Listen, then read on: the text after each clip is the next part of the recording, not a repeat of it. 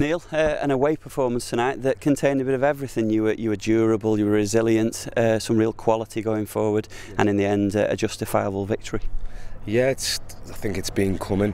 Um, you can see obviously all the hard work that the boys have put into um, the last six, seven games, and tonight, thankfully, it all came together. And there probably could have been a lot more goals, but we'll take a 1 0 and, like I say, we can now move forward and keep looking up the table. First half uh, tonight, at times, some of the movement, uh, the interchange uh, in the forward line uh, was something that I personally haven't seen in a Bolton Wanderers side for a long time. Uh, it must be really enjoyable to play in that. Yeah, it's it's like I say, it's it's unbelievable to play, in when you've got the likes of Chungi and. Uh, Fiends and Paulie, they, they all want to get on the ball, so it makes the job easier to find a pass. And like you say, you've seen it tonight, everyone's moving, these options everywhere. And like I say, that's that's contributed to, to the goal in the end. You've seen a bit of interchange, then Chungi's played a magnificent ball through, and Prattley's finished it off brilliantly. Seven games unbeaten, uh, the confidence in the team must be quite high right now. Definitely, it's there for everyone to see. The boys are just buzzing at the moment. Every game we feel like we can win at the moment, and like I say, if we can just keep this confidence over the Christmas period, then you never know where it can take us. And like I say, we're looking at the next game now. We're not looking too far ahead of ourselves because we don't want to get complacent. So we'll just be concentrating on the next game. and hopefully getting a three points. Talked about uh, you know the, the fluid fluidity going forward. There's clearly a confidence there. There's real movement about the team, but of course any attacking side is only as good as it, the foundations it's laid upon, and, and defensively right now probably as strong as you've been in, in a good 12 months. 100%. I think testament to the defenders. They're all commanding everyone. Uh, you've got Big Matt Mills, he's, he's been being a leader, he's, he's telling everyone where to go. Dorian putting his head through things and like you say, when you've got foundations like that, it makes it so much easier to concentrate on the forward play because you know that was solid at the back end. four clean sheets on the bounce when you've got that sort of confidence in your defence, then you can concentrate on just getting forward, and that seems to be what we're doing. Justifiably, obviously, people look at uh, the defence and the goalkeeper who's in outstanding form right now, but uh, in, in no small measure, obviously, the job that yourself and Darren are doing in front of the back four at the moment, working tirelessly, hustling, harrying, really sets the tone for the performances.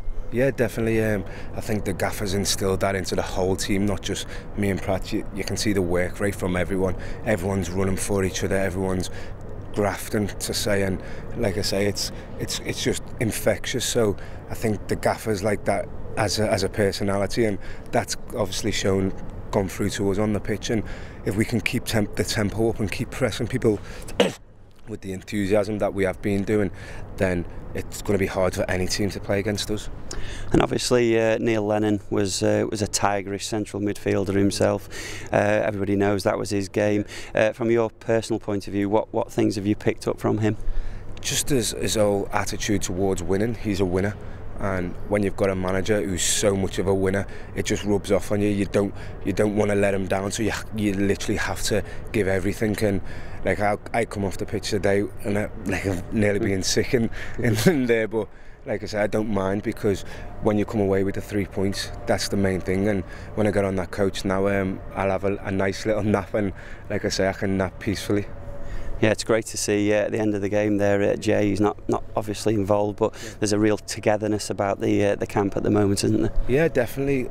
Like I say, all the boys that, not just the boys that are that are playing in the 11 but the boys that haven't been starting or coming on everyone's contributing like I say we're all training when we train we all push each other and it's it's vitally important to have a, um, a together a together squad and that's what we've got everyone's willing each other on like I say one game Jay might come in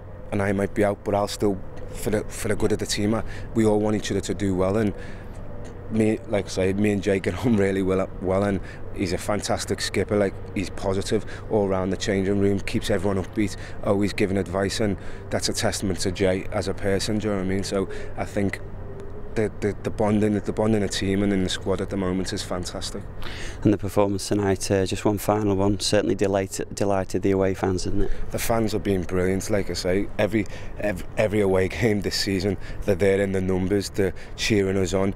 Even when we were having our bad time at the beginning of the season, they were still there cheering us on and I'm just glad now that they're getting what they deserve and in a team that's playing good football and and not getting beat basically so like I say testament to them and a big thank you to the fans for sticking with us and giving us the support